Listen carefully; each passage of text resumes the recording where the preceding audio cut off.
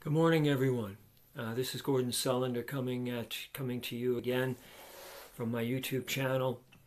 Uh, I hope you had a good weekend. Uh, the weather was pretty nice here in Dublin. Uh, we've had a lovely spring, and uh, uh, it's just really nice to be able to go outside. I know we're still in lockdown, but you can still go outside and run or cycle, do a bit of exercise, and take a walk uh, uh, in your neighborhood, and you know, um, it's just uh, it's just a beautiful time of the year, weather-wise, and uh, I hope I hope you uh, enjoyed the weather wherever you are. Um, I um, I've come up with a, an, an, idea that I hope to be able to to continue throughout the year.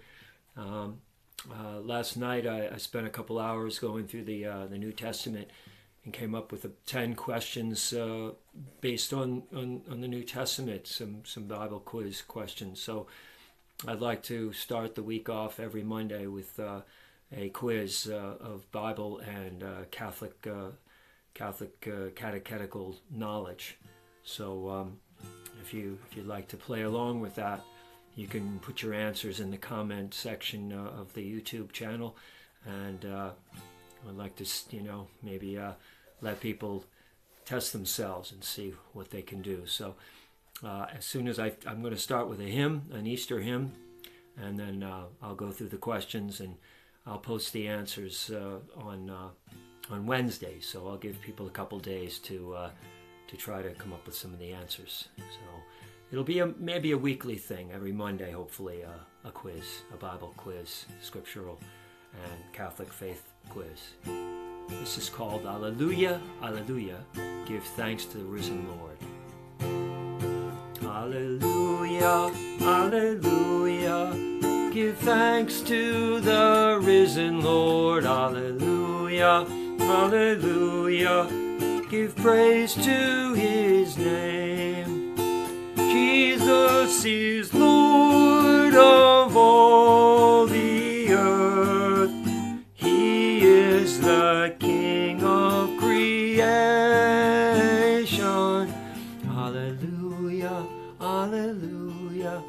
Give thanks to the risen Lord. Hallelujah, hallelujah. Give praise to his name.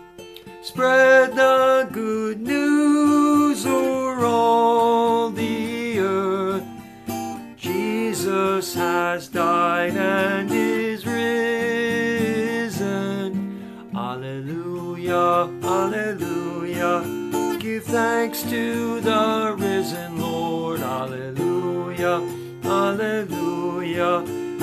praise to his name. This, uh, this morning's session with the second part. So the, here is the, the, the 10 question Bible quiz that I have composed for this morning. And I'll read off the questions and uh, I didn't make it multiple choice, so you have to you have to do a bit of research uh, to find the answers if uh, you can't guess. You either you either do the work and you figure it out, or you maybe know the answer right off the top of your head. So the first question of the Gordon Sullender Monday Bible Quiz is number one. As we all know, there are four gospel accounts of the life of Jesus. Which of them is the longest in terms of the number of chapters? Which of the four gospels has the most chapters or is the longest. Number two, in the opening two chapters of the Gospel of Luke, excuse me, we hear three canticles or songs which are sung by three holy people. Who are these famous biblical singers? There are three. Number three, in chapter 5 of Matthew's Gospel, Jesus proclaims his Sermon on the Mount, and it begins with the eight Beatitudes.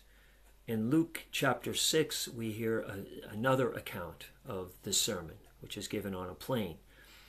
How many Beatitudes are listed in Luke's Gospel? Question number four.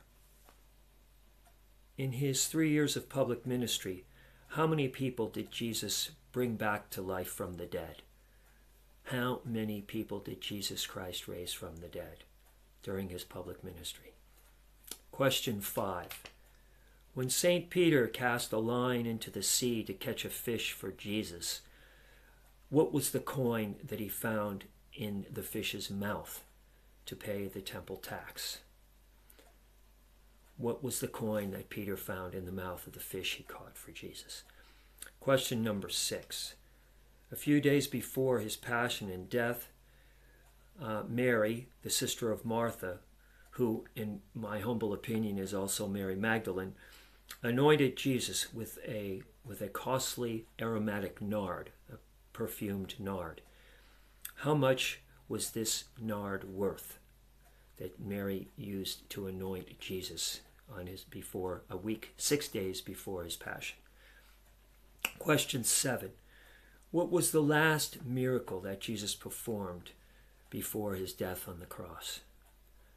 What was the last miracle, physical miracle, Jesus performed on his way to the cross?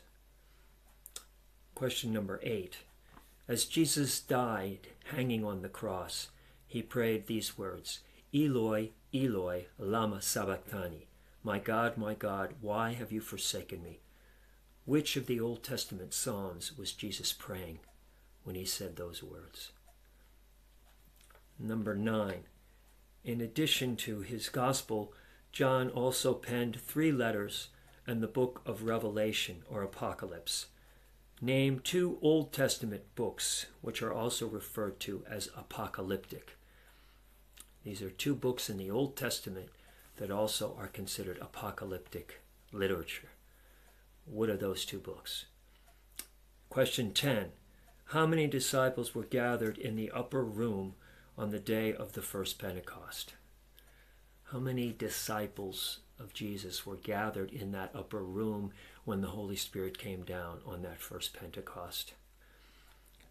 And a bonus question in John's Gospel, we hear it, John records Jesus revealing his identity using the words I am. He uses the words I am several times in John's gospel to identify himself. How many times does Jesus use this divine name uh, to identify himself? Uh, and uh, they're in several places in John's gospel. So those are the questions for, for the first Bible quiz that I'm throwing out at you. I really, I really hope you and you take a little time to uh, ponder those questions and, and, maybe do a bit of scripture study yourself uh, every week. It's good to, to, to open the Bible and, and to delve into its mysteries. And uh, Saint Jerome, the great teacher uh, who translated the Bible into Latin in the in the in the 300s in the fourth century he lived in uh, the, lat- the latter 30 years of his life in a cave in Bethlehem. During that time, he, he basically took the whole of the Old and the New Testament, Old Testament being written in Hebrew and the New Testament in Greek, and he translated those, those scriptures into a very, a very readable form of Latin, which is called the Vulgate, which was used in the, in the church up until the 15th century. All really every every Catholic uh, priest and every Catholic uh, religious who who knew the Bible would have uh, had a translation that was based on the Vulgate. So um, anyway, do do he? But Saint Jerome said the very famous words: "Ignorance ignorance of Scripture is ignorance of Christ." So we all need to to to really constantly uh, renew our our biblical knowledge and uh, and deepen our love for the Word of God. Uh, I finish with another hymn, uh, another Easter hymn, uh, which uh, hopefully, hopefully will give us a, a little bit of joy this morning. Okay, this is in Latin. This is a this is in Latin, and uh, it's called uh, Surrexit Christus. Surrexit Christus, which means Christ is risen, and it's um, it's a Taizé chant. Oh, surrexit Christus, Alleluia.